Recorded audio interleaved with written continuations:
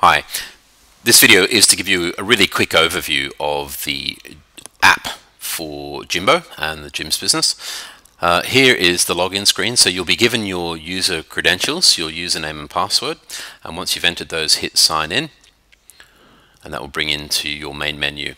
You'll see a black bar across the bottom there, that's just updating and syncing the device. If you want to get rid of it, you just touch on it and that'll hide it.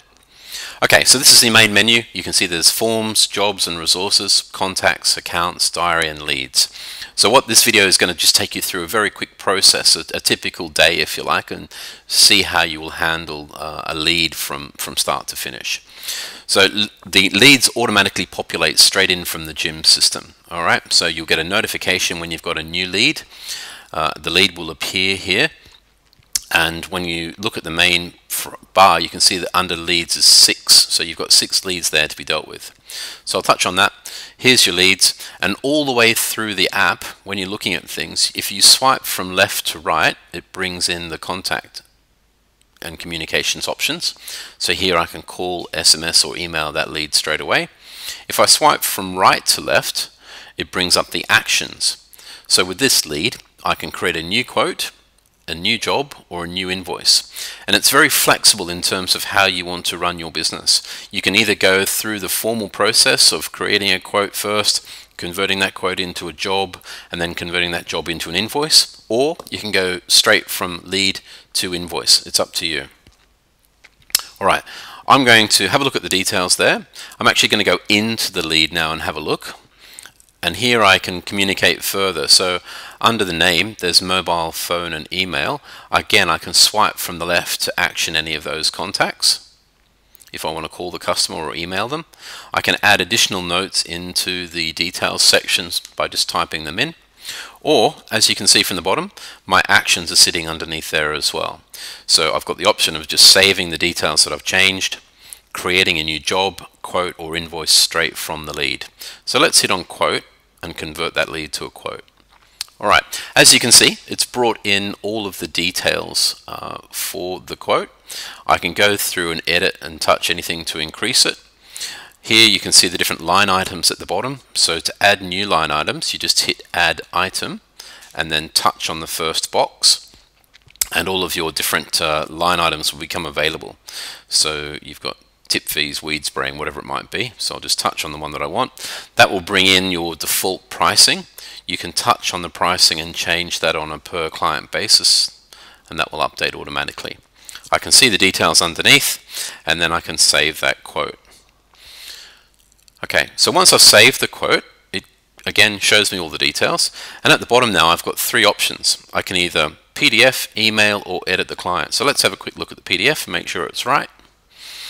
That will bring in the logos, the pricing details, everything else. Okay, that looks good to go. So I'll hit done.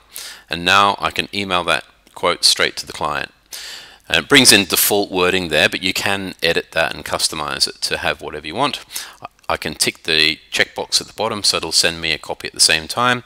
Hit send and the client gets that invoice immediately. Okay, so that's converting a lead to a quote. I can either do it by going into the quote and setting the status, or I can swipe from the right and create a new quote straight from there. Okay, we'll quickly look around the rest of the app. Um, if I go into accounts, I can see quotes, invoices, and expenses. I can go into the quotes and see all of the different quotes there. Again, same thing, swipe from the left to right to communicate, and from the right to left to action those quotes. I can go into invoices, same functionality, exactly the same. Across the top you can see the different filters. I've got all invoices, unpaid invoices, overdue and paid. So if you want to quickly chase up any overdue invoices, you just go to your invoices section, hit overdue, it'll list them. You can swipe from the left to communicate, send a copy of the email uh, in invoice, uh, or again swipe from the right to take payment. Okay, so that's the invoices section within the accounts module.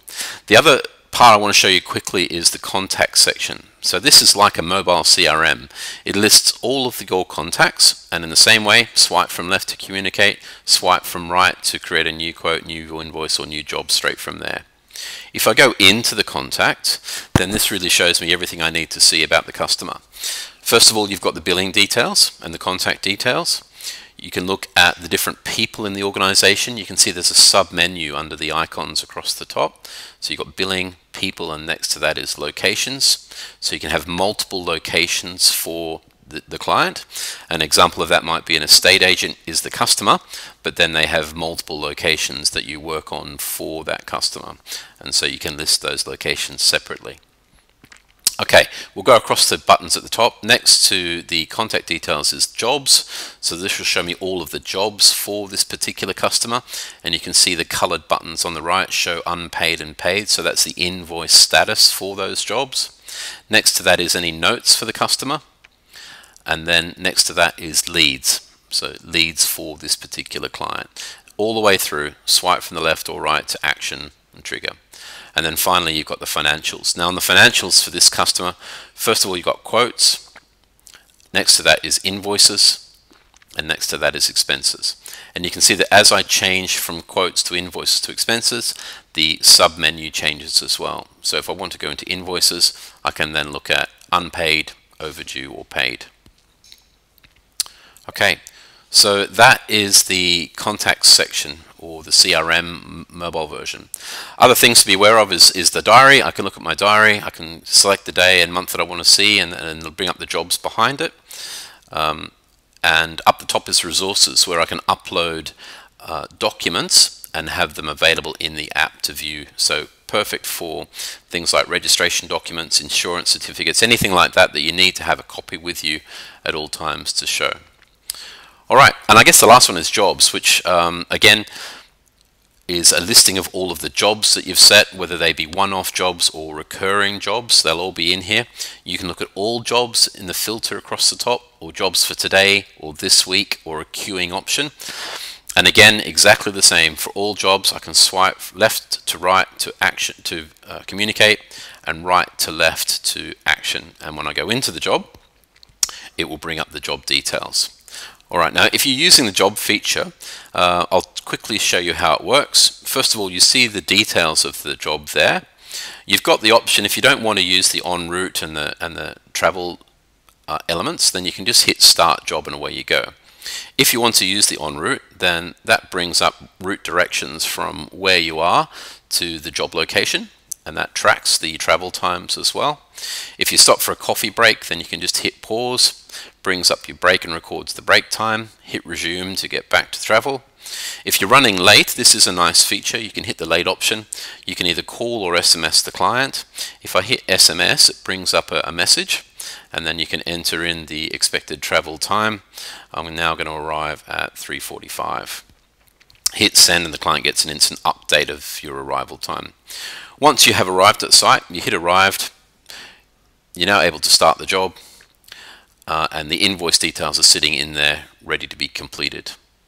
Alright, so across the top you can PDF, edit, take payment or email the invoice and underneath you've got the ability to pause the job for a break, save it or submit it when you're finished. Now in this case there aren't any job forms. If you're doing something that is more complex and requires uh, information to be collected more than just the invoice, then we can create specific job forms for each type of uh, division and those form details will be included in the job to be completed. Okay, so that's the job.